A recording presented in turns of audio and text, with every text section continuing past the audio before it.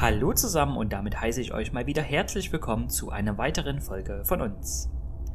In dieser Folge geht es wieder weit zurück. Es gibt viel Historie, viel Geschichte und wir wollen an dieser Stelle auch mal wieder weit zurückschauen, uns auf Spurensuche begeben in einem sehr bekannten Werk hier in LE. Also lasst uns direkt loslegen und den Rest erfahrt ihr von mir gleich. Wenn ihr übrigens Lust habt auf verlassene Orte hier im Osten Deutschlands, dann seid ihr bei uns an der richtigen Adresse. Schaut doch gerne mal auf unseren Kanal und wenn ihr Lust habt, gebt uns einen Daumen nach oben oder ein Abo. Ich wünsche euch nun viel Spaß mit dem Video.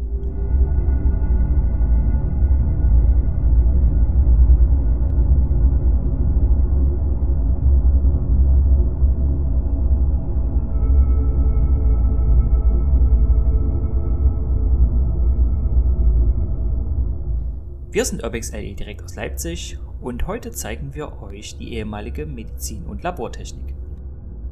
Dafür geht es weit zurück, spitzt also nun eure Ohren.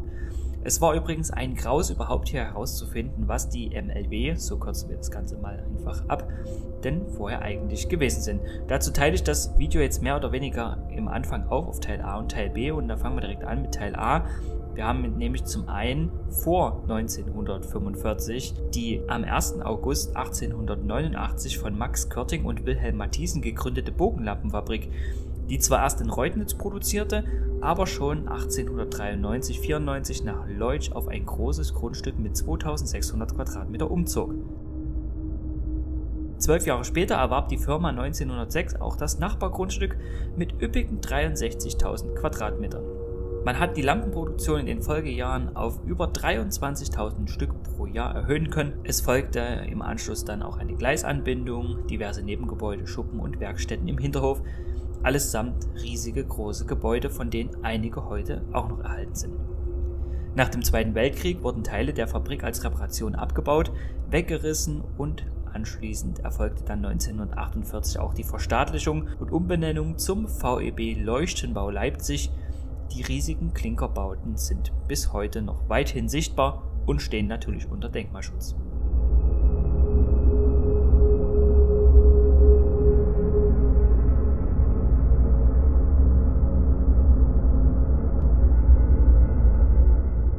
Jetzt kommen wir zum Teil B, denn zum anderen haben wir die durch Johannes Nitsche 1903 gegründete Nitsche Apparatebau.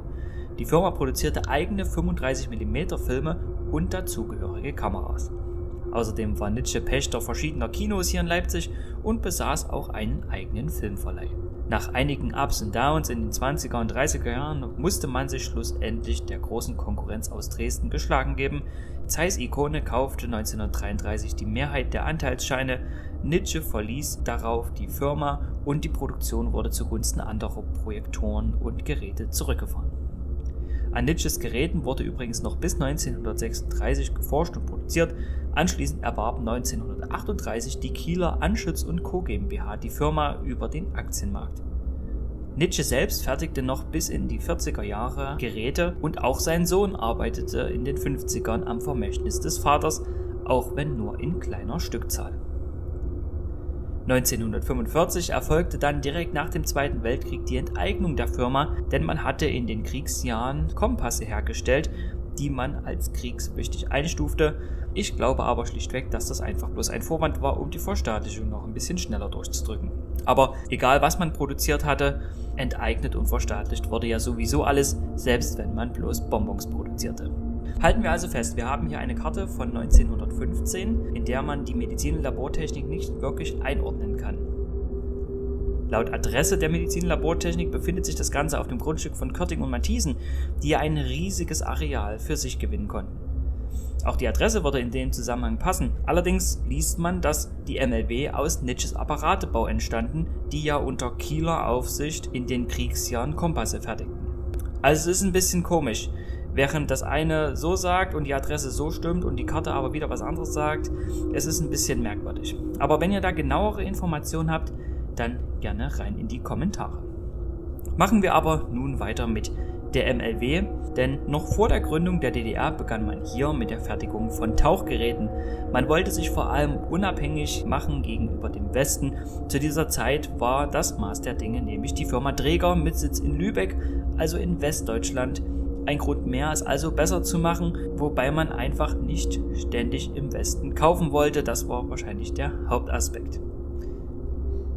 Ab 1952 unterstand das Werk der Hauptverwaltung Feinmechanik Optik und wurde in den Folgejahren zum Stammsitz des Kombinats. Wie bereits erwähnt, produzierte man nun alles Mögliche zum Thema Tauchtechnik. Die Fertigung umfasste vor allem Tauchgeräte für den militärischen Bereich, aber auch für die Industrie. Ebenso gab es Spezialgeräte wie den Panzer und den U-Boot-Retter, die dazugehörigen Masken, Anzüge, Schläuche und so weiteres Equipment wurden hier ebenfalls produziert, wobei ich glaube, dass man das Ganze nicht hier angefertigt hat, sondern einfach final zusammensetzte. Die Medizin- und Labortechnik hatte einige Betriebsteile in ganz Ostdeutschland. Es waren wohl vermutlich um die 20 Teile. Allein in den Werken Dresden, Zwönitz und hier in Leipzig wurden über 10.000 Mitarbeiter beschäftigt. Nach der Wende entstand die Medizintechnik GmbH und die Medizin- und Atemschutztechnik Leipzig als Nachfolgeunternehmen. Fünf Jahre später, 1995, ging die Mitarbeiterzahl schon nur noch auf 1800 Stück zurück. Vermutlich wurde die hier gezeigte Anlage auch Mitte der 90er Jahre geschlossen. Die Gebäude sind heute sehr ruinös, im Keller steht das Wasser knietief, es gibt keine Fensterscheiben mehr und so gut wie jeder Quadratzentimeter ist mit Graffiti besprüht. Einen Flügel des Gebäudes hatte eine Catering-Firma vor vermutlich 10, 15 Jahren mal saniert. Das hielt allerdings auch bloß kurz und ist heute ebenso zerstört wie der alte Teil der Anlage. Außerdem findet man hier immer wieder jugendliche Graffiti-Sprayer und Paintball-Spieler, die regelmäßig von der Polizei aus dem Objekt rausgeholt werden. Aktuell liegt wohl auch eine Neubebauung vor, allerdings gab es das auch schon mal vor 10, 15 Jahren, denn es handelt sich ja hier um ein riesiges Grundstück, wo sicherlich mehr als nur eine Brache stehen sollte.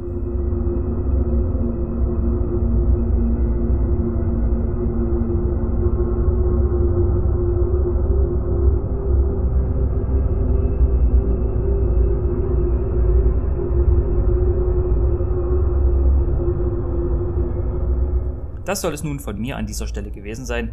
Ich wünsche euch in erster Linie erstmal alles Gute, bleibt gesund. Jetzt gibt es noch ein paar Bilder im Nachhinein und wenn ihr Bock habt auf verlassene Orte, dann gebt uns einen Daumen nach oben. Wir hören uns nächste Woche und wie ihr uns abonnieren könnt, das muss ich euch glaube ich nicht erklären. In diesem Sinne macht's gut, bis bald und ciao.